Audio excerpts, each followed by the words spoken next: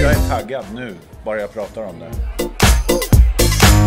Jag vet inte om det är när man ligger på en, en kälke och skakar ner så här så allting, allt kött bara syns. Eller så är det ännu värre att man åker framlänges ner. Kalla som vinner och som har legat långt efter som bara tar i. Anja Persson och curling, curlinglandslaget också.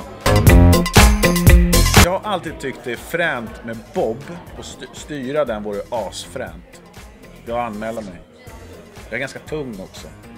Jag har hört det bra.